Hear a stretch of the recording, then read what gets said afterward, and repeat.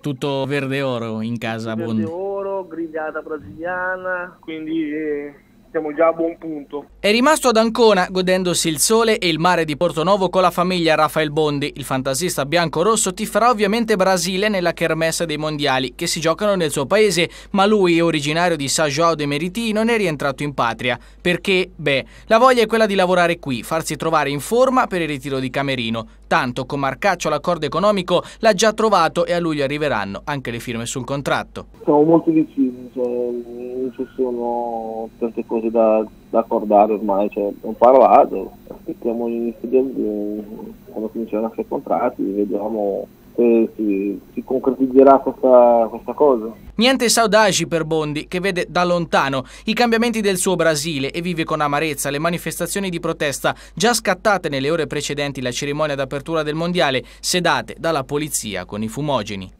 cambiato negli ultimi anni, dopo che lui è diventato presidente, l'economia ha, un, ha, fatto un grandissimo salto, la povertà è diminuita tantissimo, e ovviamente ci sono problemi che sono sempre stati, tipo la salute, gli ospedali sono adeguati, le scuole non sono adatte, la sicurezza è sempre un problema, però queste cose sono sempre state, sono problemi che sono sempre esistiti, no? Io capisco la indignazione della gente, ma non capisco il momento, perché quando il Brasile è stato scelto per fare i mondiali, tutti hanno fatto festa, tutti hanno festeggiato, si sapeva che dei soldi sarebbero stati spesi, quindi non, non vedo eh, il perché di, di, questa cosa, perché non hanno protestato prima, tu vai a danneggiare l'economia del paese,